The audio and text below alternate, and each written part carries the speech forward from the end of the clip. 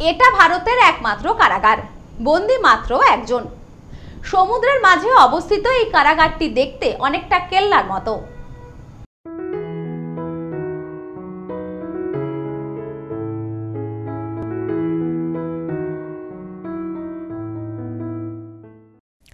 এটি ভারতের এক অদ্ভুত কারাগার, যেখানে থাকেন মাত্র একজন বন্দী। এখানেই শেষ নয়।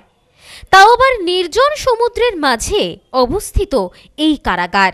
নিশ্চয় এই জেলখানাটি কিংবা কারাগারটি সম্পর্কে জানতে ইচ্ছে হচ্ছে? এটাই স্বাভাবিক। আসুন, এই প্রতিবেদনের মাধ্যমে জেনে নেওয়া যাক বিস্তারিত বিষয়টি।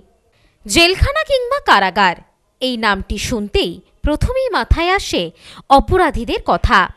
অর্থাৎ অপরাধীদের যেখানে রাখা হয়, সেই জায়গাটিকেই বলা হয় জেলখানা। তবে ভারতে যে জেলখানাগুলি রয়েছে, তাতে একসাথে বহু মানুষকে রাখা হয়। কোনো কোনো ক্ষেত্রে আবার দাগি আসামিদের ক্ষেত্রে কড়া ব্যবস্থা নেওয়া হয়। তবে ভারতে এমন এক অদ্ভুত জেল রয়েছে, সেখানে একজন মাত্র অপরাধী রয়েছে।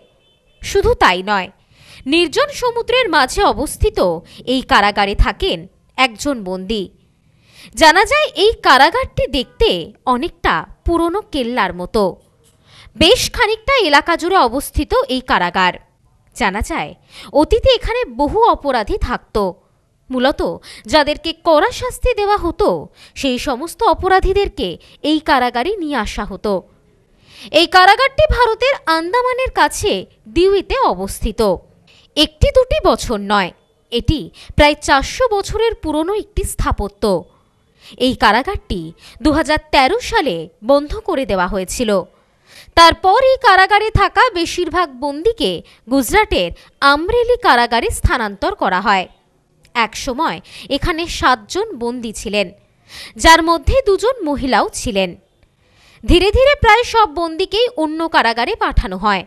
তবে এখন এই কারাগারে একজন মাত্রই বন্দী রয়েছেন, যার নাম দীপক কাঞ্জি।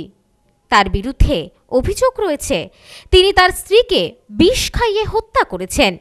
দীপকের বয়স তিরিশ বছর এবং বিচার পর্ব শেষ হলে তাকে অন্য কারাগারে স্থানান্তর করা হবে। তবে বর্তমানে তার নিরাপত্তার জন্য রয়েছে এখানে পাঁচজন সিপাহী এবং একজন জেলার। যেহেতু এই কারাগারে একাকী বন্দি তিনি, সেই কারণে তার দৈনন্দিন জীবনযাত্রা কিছুটা ভিন্ন ধর্মী জানা যায় প্রতিদিন তাকে রেস্তোরাঁ থেকে খাবার এনে দেওয়া হয়।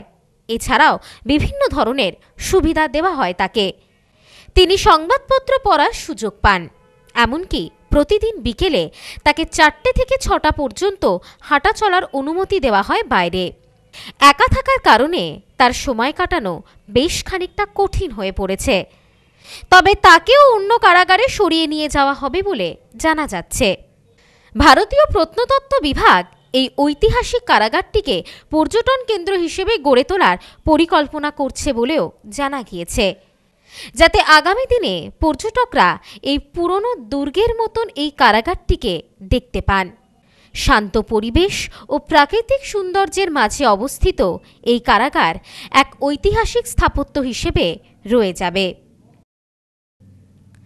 ব্যুরো রিপোর্ট, নিউজ স্নোম্যান্সল্যান্ড নেউপিসি জুয়েলার্স সম্পর্ক গড়ে দেয়। বনগাঁতে আমাদের তিনটি শোরুম প্রতিদিনই খোলা। নেউপিসি জুয়েলার্স বনগা বাটার মোড়। নিউ পিসি জুয়েলার্স ব্রাঞ্চ কুমদিন স্কুলের বিপরীতে। New PC Jewellers beauty Motiganj Hatkhola. আমাদের এখানে সোনা কিনুন পেপারের দামে।